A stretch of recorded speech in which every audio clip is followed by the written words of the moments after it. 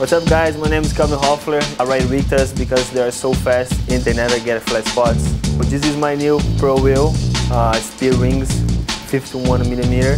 I choose Speedrings because the shape and the design. So this is my new Pro Wheel.